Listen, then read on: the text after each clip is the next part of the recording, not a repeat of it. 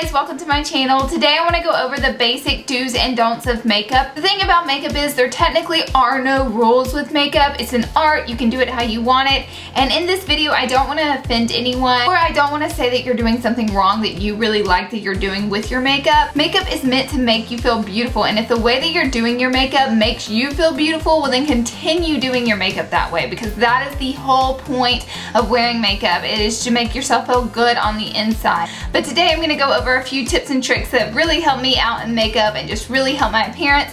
So I hope you guys enjoy. Leave me a cool comment down below and thumbs up this video if you enjoyed and we're gonna get started with our makeup do's and don'ts.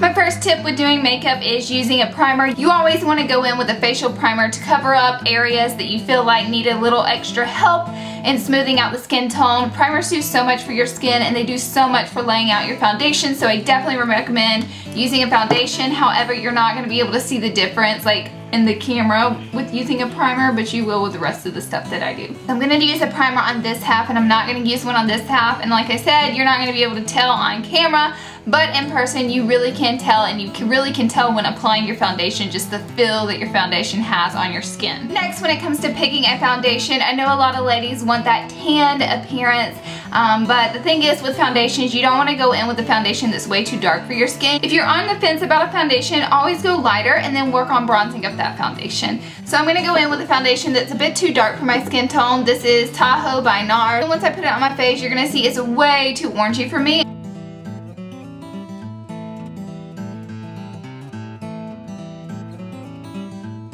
So as you can see here, like, I mean, this is incredibly too orange, and not only that, I neglected to fill in my neck. I see a lot of neglection in the neck area when applying foundation because people think foundation is just for the face, but you definitely want to drag it out to the sideburn area, and then you want to go ahead and bring it down to the neck, because as you can see here, we have a horrible um, line right here, and that is scary, my friends.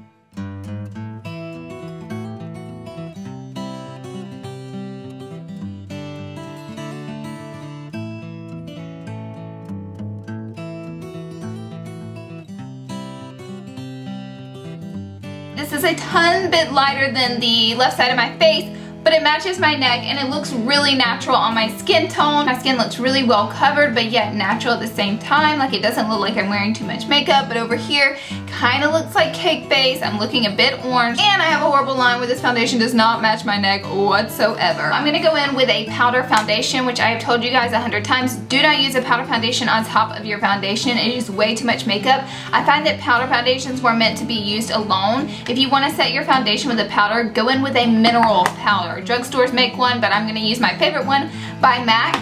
So first I'm gonna go in with this foundation powder on top of my foundation and we're gonna get a little bit more cakey than we already are.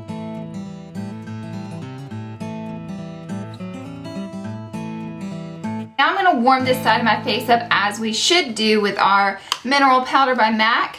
This is in their old packaging. I really need to get a new one. So as you can see here, the texture of my skin, it just looks really soft, really natural and great.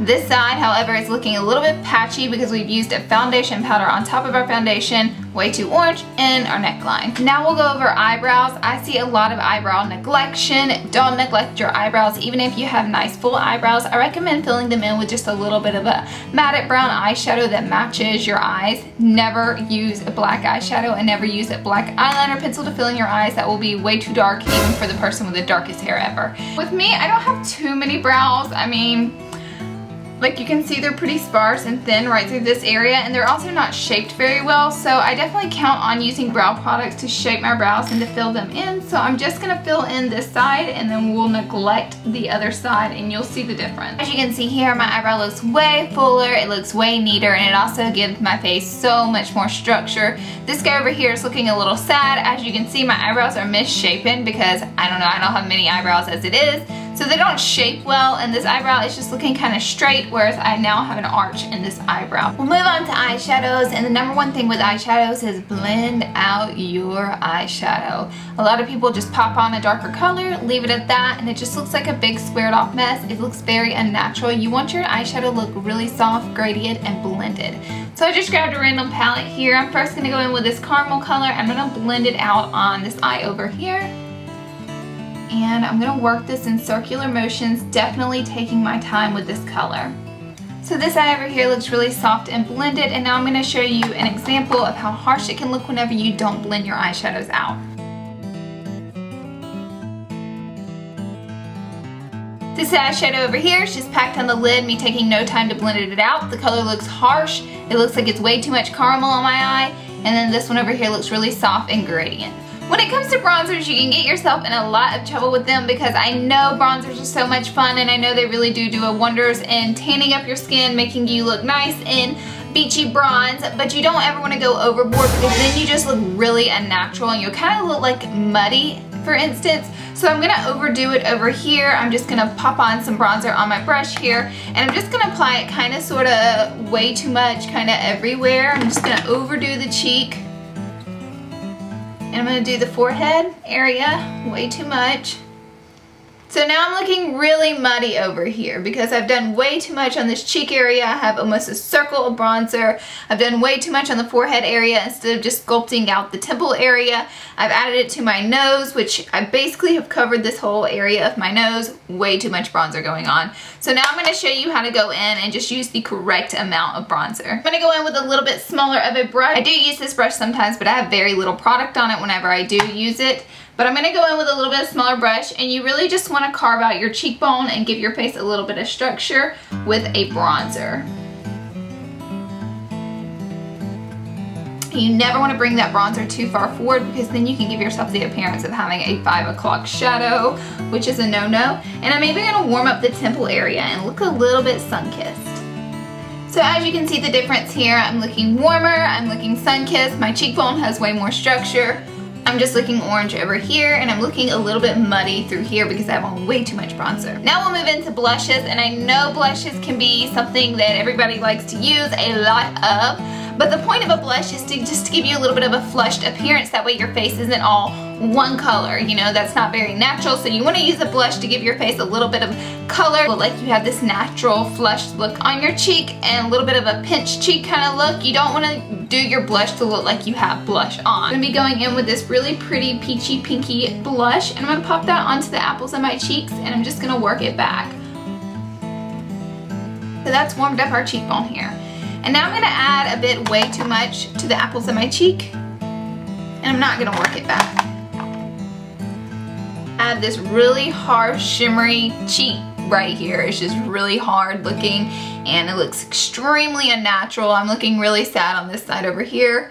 It's getting worse as the video moves on, but as you can see, we just have like a little bit of a natural flush and that's all you need with a blush. We'll move on to eyeliners. I see a lot of people wear way too much heavy eyeliner on the lower lash line. This can really make you look tired. It can make your eye look smaller. It can make you look heavy and drag down. It can even make you look older, so you really want to balance out that liner that you're wearing on your lower lash line with the liner that you're wearing on your upper lash line. And again, you don't want to wear too much liner on your upper lash line because you can completely black out your eye, making it look smaller. And not only that, you're covering up your entire eyelid. So this has the outer corner of my eye looking way wider and it's an even amount of eyeliner so it doesn't look too much.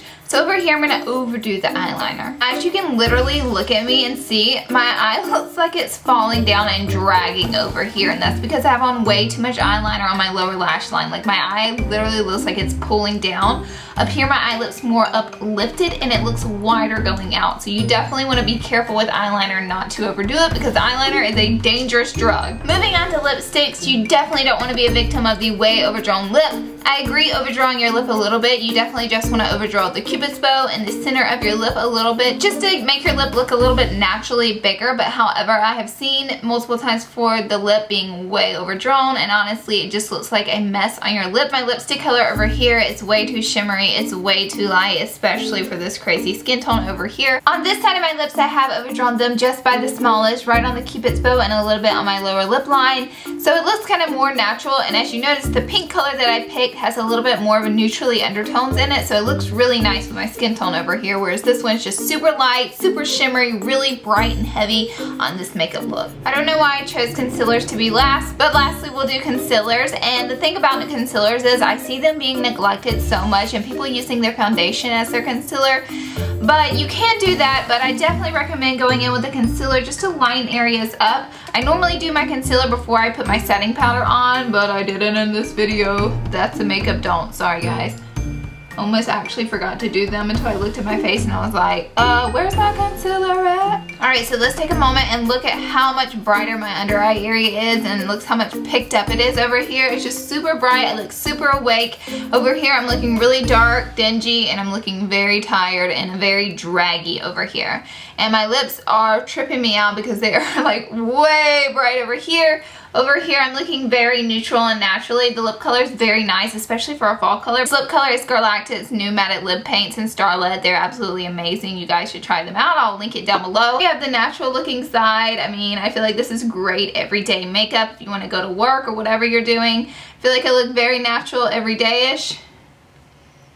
Over here, I literally feel like I look like a clown. Um, my makeup is very hard on the eyes. It's very heavy. My face is way too orange and it's just looking very cakey. And my lips are way overdrawn so they're looking like a crazy person's lips. And not only that the color is just extremely too light for my skin tone. So it's really standing out extra bright looking very unnatural. That is it for my makeup do's and don'ts. I know I'm leaving this video looking extremely crazy, but I hope these tips help you. Again, I'm not here to defend anyone. If you like doing your makeup the way that I've done it on this side, or maybe one or the two of the things I did on this side and said was wrong is the way you do your makeup and it makes you feel good, go for it and keep doing it that way. Don't change it just because I said it was wrong. I hope it helps some of you guys out with just some steps to avoid when doing your makeup, especially for those who are learning new tricks in makeup. These are a few that might help you out. I love you guys. Thank you guys so much for coming by my channel. Leave me a cool comment down below. Check the down bar for all my social media and I will see you all in my next video. Bye guys.